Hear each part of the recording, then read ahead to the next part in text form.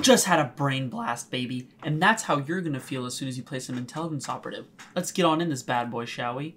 Now, before we hop into this, I, if you're gonna play an Intelligence Operative, you gotta be pretty smart, right? You gotta know what you're doing. And you know what'll make you real smart? Subscribing to the channel. That's right. There is a chance that you subscribe and immediately gain 10 more points to your IQ score. I can't promise anything, but it's not impossible. Your odds aren't zero. Why not take the chance? I'm just saying, it's worth a shot. Thank you. Now, getting straight into the video, you're making an intelligence operative. Obviously, going into character creation, you're gonna be a smart boy. So, going ahead and talking about ability scores, oh, I love it. it. It never gets old. You're gonna wanna put a lot into intelligence, and if you couldn't figure that out, you probably shouldn't be playing this character. No offense, I'm just saying that should have been clear and that this character's about being smart, and I just feel like that should have not taken much thought. Now, after you make intelligence your highest, it's pretty free reign, honestly, as to what you want to do besides that. You could throw it into Dex if you want your guy to be able to move around the battlefield really fast, which can be helpful, and have a decently high AC. You could throw it into Con if you want someone that's maybe a little tankier and then also has quite a bit of chakra.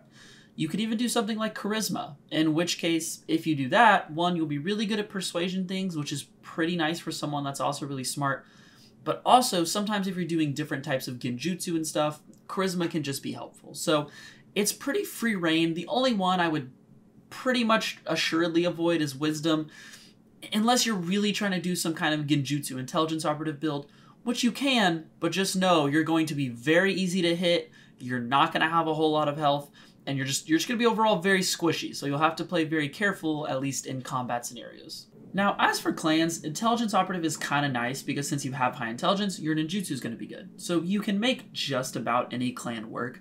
But if you really want to optimize your Intelligence Operative, there's a few things you want to look for. One, you're probably going to want at least some form of crowd control, some kind of battlefield controlling elements, right? It's just nice to have since pretty much the whole point is you're going to be controlling the battlefield to some extent. It's nice to have some CC.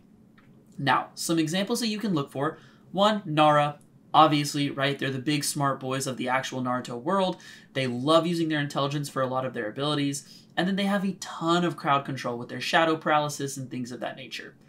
Another option, you could go with Yamanaka. Now, these guys are a little more genjutsu based, but they have the same kind of concept, right, of controlling their enemies, things of that nature, and they can also gain some benefits off of intelligence.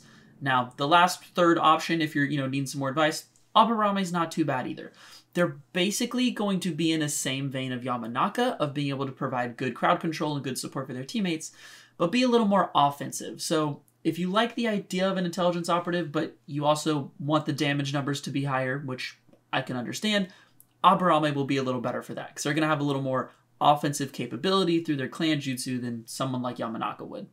Now, get into our last part of character creation. We got jutsus, and Jutsus are, again, pretty free roaming. You can do a ton of different things. Again, your intelligence score is going to be high, so you're going to be able to use a lot of different ninjutsu pretty dang effectively. But I would really try to focus on things that control the environment. Again, you're an intelligence operative. Your whole kind of shtick is going to be buffing your allies, nerfing your enemies, and kind of moving the battlefield around how you see fit. That being said, things like Bless is a really good starting one because it just buffs your allies, and helps you play that supporting role really well.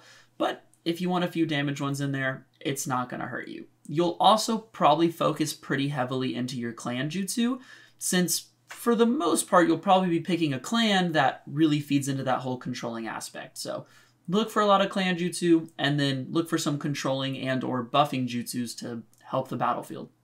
When it comes to roleplay, a few things to expect. One, you're hyper intelligent. So you're going to know a lot of things. You're going to be the smart one. You're going to be really good at figuring puzzles out. If you ever, you know, are trying to figure something out, you'll probably be the one rolling to check for hints or rolling to remember something or anything of that nature, right? You will have hit the books, you'll have your history knowledge, just things of that nature you're going to be really good at typically you're also going to take the lead if you're in a team situation. So if you're playing like a fairly typical Naruto 5e campaign where you're in a team with your with your teammates, right? You're probably going to be that leadership role and you're probably going to be taking forward, giving the plans, telling people what to do. So if you don't like having that forward role and you're not the kind of person that really wants to step up and be the leader, I probably wouldn't go intelligence operative because that's for the most part what these guys are going to be really focusing on in their role play. Now, getting into what most y'all came for, that combat, right? That good good fight, the stuff that a lot of people seem to enjoy in D&D. You're going to be doing a few things. One, as I've said, your intelligence is going to be high, so you're going to be throwing out a lot of ninjutsu, so be ready to be using a lot of different abilities. Two, you're going to be controlling the battlefield. Again, this is a very plan heavy, strategic kind of class. That's really what they focus on, and it's what they're really good at. So, be ready to, in combat, be moving people around, giving orders, giving buffs, giving debuffs. Again, it's going to depend on your subclasses, which we'll get into in a second.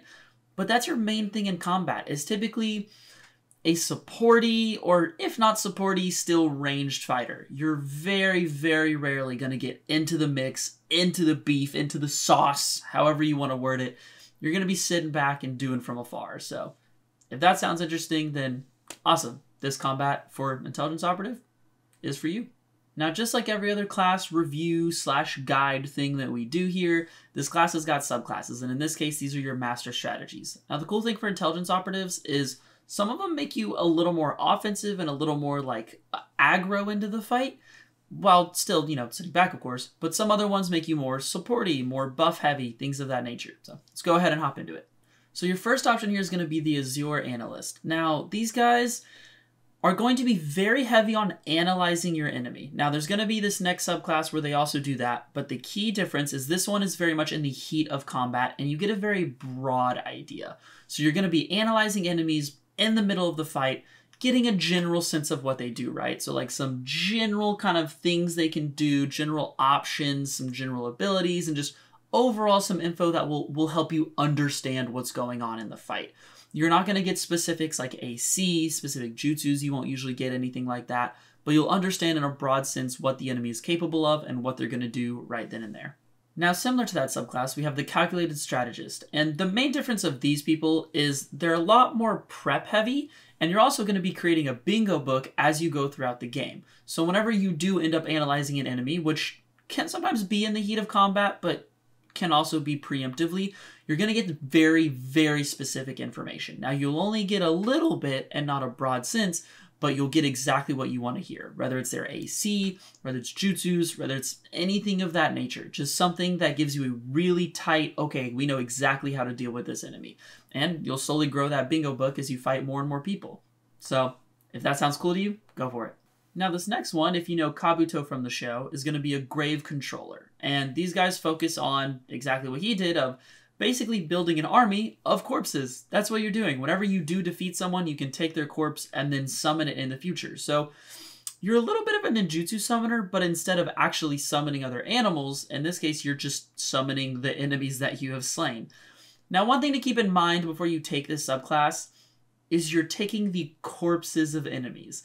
So if you know that your campaign is not going to be very kill heavy, or you're not going to be very big about actually slaying your enemies, Grave Controller is not going to be very good for you. So just ensure that murder and killing is a at least somewhat chill thing in your campaign before you take this one, or you're not going to have a very good time.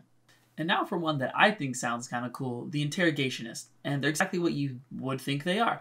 If you remember Ino's dad from the show, you're that. You're going to be someone that really likes to rely on capturing your enemies and then getting info out of them, even if the way you're getting the info isn't necessarily morally correct. So that's your big thing is capturing the enemy and then just uh, extracting every bit of info you can. A big part of your combat as well is you're really going to be destroying the morale of your enemies. That's kind of your your main shtick when in combat. So that sounds like a good time. That's for you. Now here we got the mastermind strategist. And if you're a little self-centered, or at least your character is, this is going to be a really good one to take because one of the things of this character is you're you're pretty self-centered in the sense of you kind of think you are the most important one in the combat, you are the smartest, you are the one that needs to survive, right? And these guys are very single target focused. So a lot of the others tend to focus on more of a battlefield controlling AoE type style. These guys are going to be very big on picking their target and finishing them off and really focusing on locking down that one person at a time.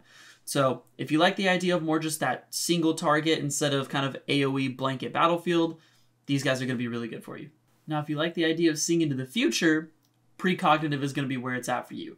Now, why these people don't technically see the future, the idea is that they're so good at combat and so good in the moment, they can predict what's going to happen to a near perfect rate, inherently seeing the future. And that's what they really pay attention to is kind of understanding what the enemy's going to do, whether that's actions, jutsus, just any options that they have, and then relaying that information outwards and being able to do things like that. So if you like the idea of being able to predict and or basically see the future, precognitive is yours. Now, if you watch Naruto, you're probably going to know this one anyway, and this is Sensory. And these are exactly like the Sensory ninjas actually in the Naruto verse, in which your biggest thing is going to be positioning. You're going to know where enemies are, you're going to know if they're hiding, if they're behind something, if they're trying to do something, trying to cast a jutsu. That's where you're going to be really good at. You're going to be able to sense chakra pretty much all around you for a lot of the time. So if you really like the idea of not getting snuck up on and you can pretty much just sense people around you with this magical power, Sensory's yours. Now, maybe you like the idea of summoning things, but the grave one isn't really an option. Whether it be story based or you just don't want to have a character that kills a lot of people, Shadow Hand should be your pick. These guys can inherently summon exactly that a Shadow Hand, which is kind of a somewhat copy of themselves to help them out. It's kind of similar to a shadow clone in which they're going to be able to do things, going to be able to buff allies, you're going to be able to use them for intimidation factors, things of that nature. So if you want to be able to create a shadow hand and someone to help you out, but don't like the idea of taking bodies, this is going to be a good choice. Now, next up is going to be the tactical strategist. Now, these guys do a few things that are pretty neat. One, they're really big on planning, so they'll provide different forms of plans to help their teammates in the fight, how it starts, how it goes all those good things.